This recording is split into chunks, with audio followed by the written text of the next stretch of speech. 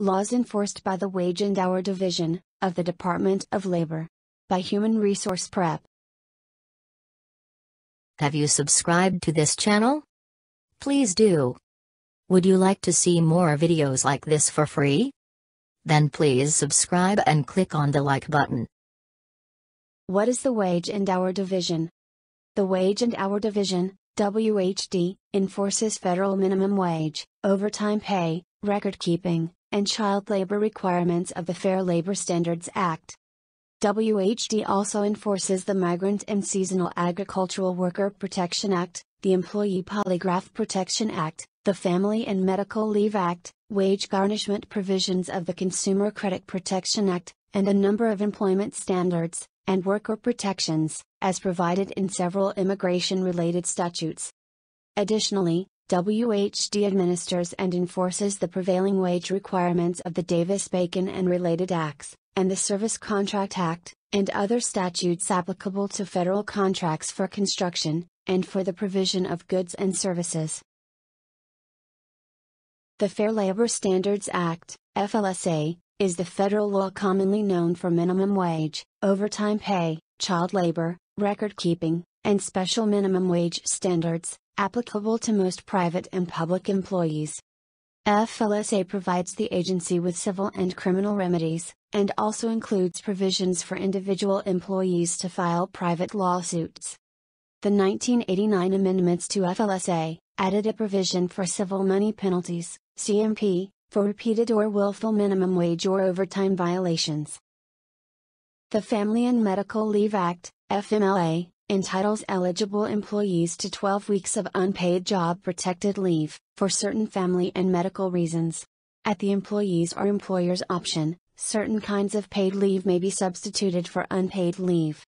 Employees are eligible if they have worked for a covered employer for at least one year, and for 1,250 hours over the previous 12 months, and if there are at least 50 employees within 75 miles. The employee may be required to provide advance leave notice, and medical certification.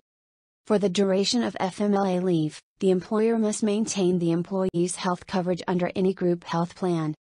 Upon return from FMLA leave, most employees must be restored to their original or equivalent positions, with equivalent pay, benefits, and other employment terms. The Employee Polygraph Protection Act, EPPA, prohibits most private employers, federal, state, and local government employers are exempted from the Act, from using any lie detector tests, either for pre employment screening, or during the course of employment. Polygraph tests, but no other types of lie detector tests, are permitted under limited circumstances subject to certain restrictions. Have you subscribed to this channel? Please do. Would you like to see more videos like this for free? Then please subscribe and click on the like button. The government contracts statutes set labor standards for wages and hours of work for employees who work on contracts with the federal government. The Davis-Bacon and related acts, DBA, cover workers on federal construction contracts, and on construction contracts with state and local governments that are federally financed or assisted, in whole or in part.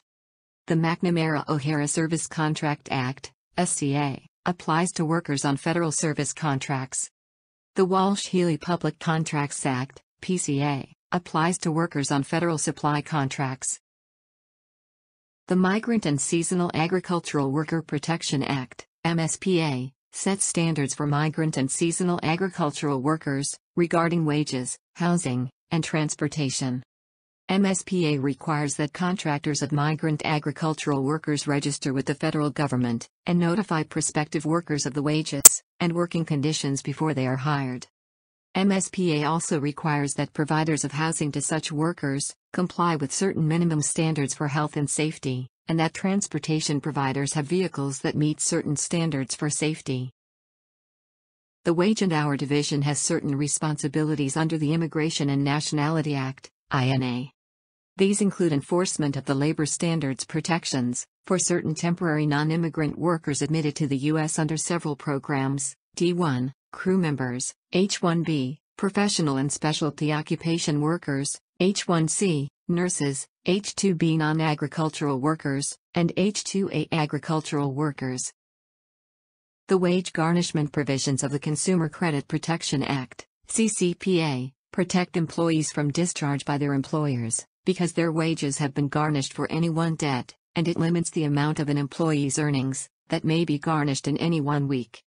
CCPA also applies to all employers and individuals who receive earnings for personal services, including wages, salaries, commissions, bonuses, and income from a pension or retirement program, but ordinarily not including tips.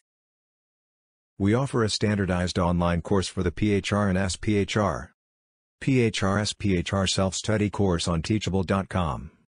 The course includes basic, intermediate, and advanced resources designed to enable you earn the PHR and SPHR exams, with over a thousand standard questions. Check out the link in the description box below. And with that we come to the end of today's lesson. Check out the description box below for additional resources towards earning the PHR, SPHR, SHRMCP, and SHRMSCP. Facebook Practice Group. Class Marker PHR, SPHR, Practice Exams. Books on Amazon. Teachable PHR, SPHR online course. Remember to subscribe and like this video.